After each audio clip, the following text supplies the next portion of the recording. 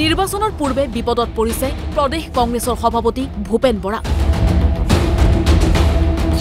কংগ্ৰেছত ক্ৰমাৎ বিশ্বাস হেৰাই পেলাইছে ভূপেন বৰাই। সকলোৱে সন্দেহৰ চকুৰে চাই ভূপেন বৰাক।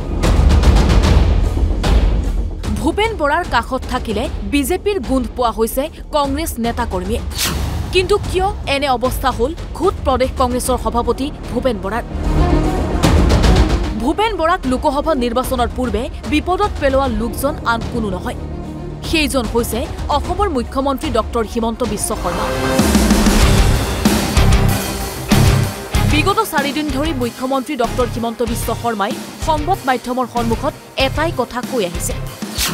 বিজেপিলৈ আহিব ভূপেন বৰা বিজেপিলৈ অহাটো নিশ্চিত। বিজেপিলৈ ভূপেন বৰাই কেতিয়া আহিব তাৰ সময়ো কৈ দিলে মুখ্যমন্ত্ৰী ডক্টৰ হিমন্ত বিশ্ব শৰ্মাই। দুহেজাৰ পঁচিছৰ জানুৱাৰী ফেব্ৰুৱাৰী মাহত গেৰুৱা হ'ব ভূপেন বৰা আৰু একেই কথা আজিও ক'লে। ল'ব পাৰে পদুমৰ চিনত। ভূপেন বৰা পদুমত আহিবই আৰু পদুম হিচাপত মন্ত্ৰী হ'বও পাৰে। আৰে মোৰ বিৰুদ্ধে কেনেকৈ খেলিব একেটা পাৰ্টিতে?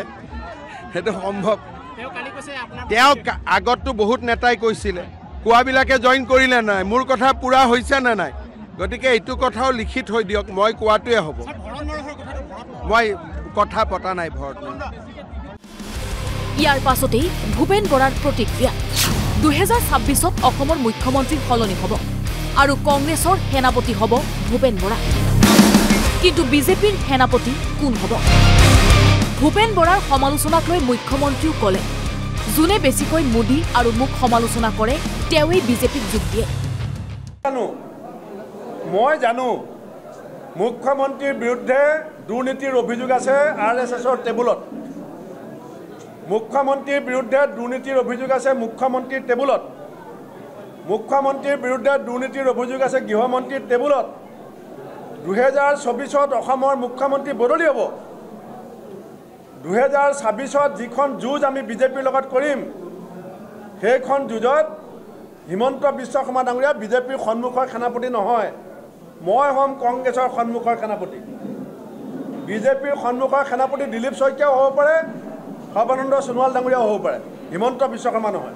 মানে যোনে বেছিকৈ বিজেপি আৰু মোদী আৰু মোক গালি পাৰে তেওঁৱে দুদিন পিছত বিজেপিত জইন কৰে। ছিগনেল সেইটোৱে। এতিয়া প্ৰশ্ন হৈছে কোন সঁচা কোন মিছা?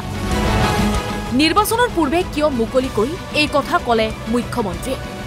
সঁচাকৈয়ে বিজেপিলৈ যাব নেকি ভূপেন বৰাই? সেয়া সময়ত স্পষ্ট হ'ব। Bureau' report N B news.